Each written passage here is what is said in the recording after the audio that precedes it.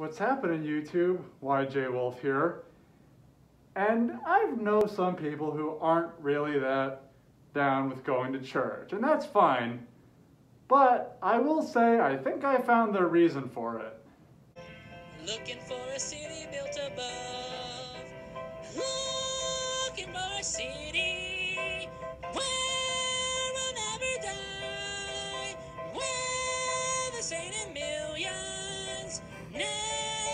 say goodbye. Congratulations! You're no longer the most annoying thing on the planet. Don't push it. Looking for a I know American Idol was canceled a couple years back, but I would love to see Simon's reaction to this. Oh, not that Simon, the other Simon. You got in, I think they'd throw you out even before you sang. Thanks, Simon. We miss you, buddy. So as you know, I love me some American cars. And a lot of other people do too. That would be the exception, though, of this woman. I came over here because it was quiet, because there was nobody here, and you come up here with your gas guzzling piece of shit, and the exhaust is spewing everywhere, and don't you're you sitting swear in front of my Shut the daughter. fuck Get out. Hey. You're Get out. here. You're Get out. Cheryl, Now. So apparently she's complaining about the truck being on, the diesel exhaust getting in her face and whatnot. Well, I'll tell you something. It's not that big of a deal, honey. Just asking you to be pleasant and courteous, and you guys aren't willing to. That's all. I backed up. For. I backed up. There's your exhaust pipe. The wind is blowing in this direction. There won't be Why is the goddamn car on? Because my daughter. I'll tell you what I'd do in this situation. I'd just sit there and rev the engine all day. Just wa- and watch her fume. Because, you know, I mean, yeah, her opinion's valid. I should have the truck off. But you know what? I'm an American and I don't care. You're laughing because you're mindless and you're ignorant. My message to this lady would be next time you're stuck in a ditch, you might want to be nice to the guy with the diesel truck who can pull you out. Just a little food for thought there. Just saying. This is one time when I was getting a haircut, and apparently there's a U.S. Army recruiting center right by the hair salon. And that was fine. I was just standing around, and then some army guy came in and said, Oh, look, man, you gonna join the army? Here's my business card. I should have watched this video beforehand, because they know, because this guy knows what to do. すぐにいらっしゃるんですね。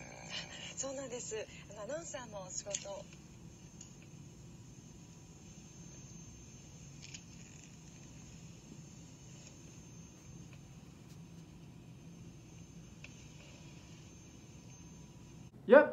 this guy knows how to handle a business card.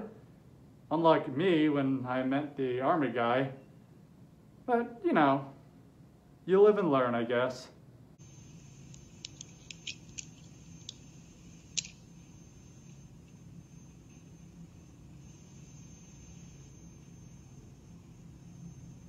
You know, you can handle have this for any situation, like a housing foreclosure or hospital bills, or restraining orders. Any pieces of paper you don't want, just do whatever the hell that is. Ah, the freakout kid. Remember him?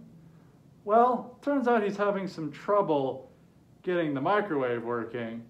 So, let's see. Is he to handle this like a calm, simple minded individual? It's a freaking piece of crap that doesn't cook. Of course not. He's gonna freak out. I mean, what kind of show do you think this is, huh? Ma! I want my freaking turkey breast with freaking gravy, and it's yeah, it's still freaking frozen, Mom. Why not eat something that doesn't have to be cooked? Like, I don't know, uh, chips, peanut butter sandwich. Um, or you know what? Just go to McDonald's. box says. The box says two freaking minutes. It's been in there for seven, and it's still full. Okay, so after all this, you know what's coming. You know what he's gonna do. What are you doing? Ah! God! You have a freaking boner for that freaking camera! Get out of my face! What are you doing, Steven? Wow, You better freaking.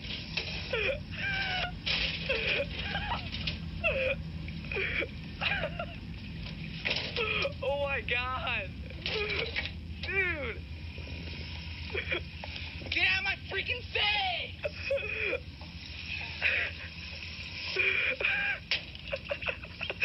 wow. Shut up! Wow, Steven. Yeah, I'm freaking starving! Congratulations!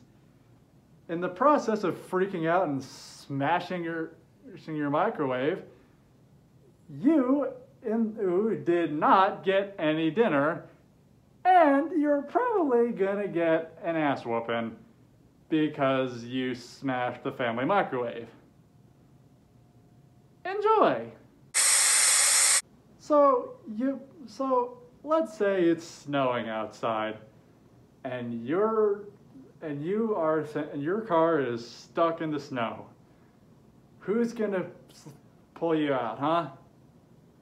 Well, not the plow trucks because the city sucks. But let's say a good old American Hummer.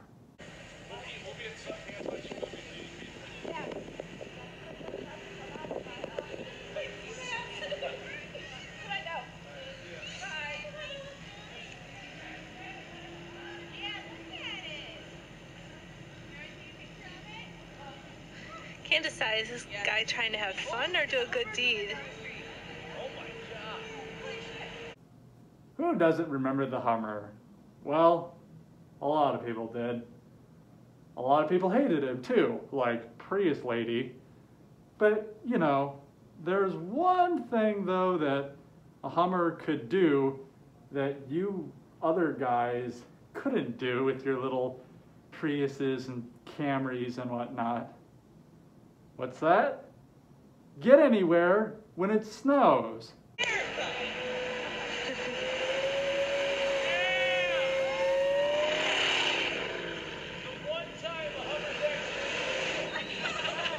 I bet he paid $100 in gas. It is annoying though because they're all saying, "Ooh, it's a Hummer. It's all, you know, it's all gas guzzler and things like that." Well, you know what? Again, they he just plowed your your road for you. That deserves some some medal or something. That guy's a hero because now I can get to work. That concludes this video. I'm YJ Wolf, and this message will self-destruct.